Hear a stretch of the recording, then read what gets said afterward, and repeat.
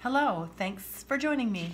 Today I'm going to read Franklin is Bossy by Paulette Bourgeois and Brenda Clark.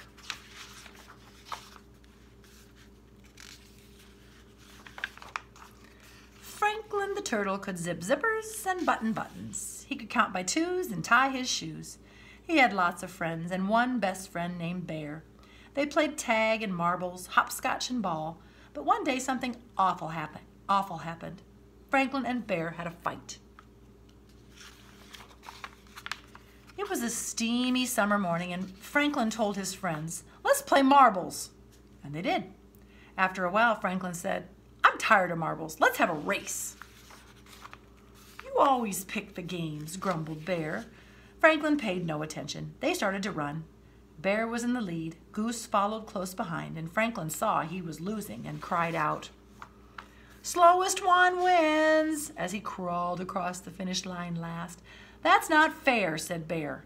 Franklin ignored him. I'm tired of running. Let's play baseball. Bear did not put on his mitts. He did not put on his cap. He was mad. It's too hot. I don't want to play, said Bear. Me neither, said Beaver.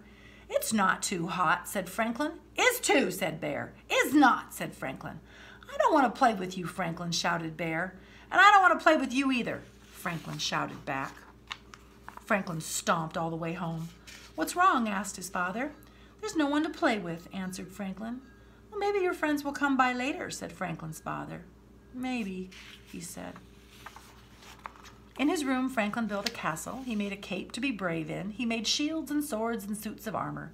He drew pictures, he played house, he read stories, he played by himself for one whole hour. And then he didn't know what to do. So Franklin went looking for company. His friends were in the river cooling off. Are you still hot? he asked. No, they answered. Then let's play ball, said Franklin. Before anyone had a chance to say a word, Franklin started giving orders. Bear, you play first base. Goose and Beaver, go, go to the outfield. I'll be the pitcher. No way, shouted Bear. I don't want to play with you. You are too bossy. And all of Franklin's friends nodded. Bear's right, they said. Franklin turned his back and went home. There was no one to play with and nothing much to do, so he helped his father all afternoon. They weeded the garden and washed the floors. They made supper for Mole because he was sick. Oh, you're a good friend, Mole told Franklin's father. On the way home, Franklin asked, Do you and Mole have fights? Sometimes, said Franklin's father, but we always make up. Franklin played alone for another whole day.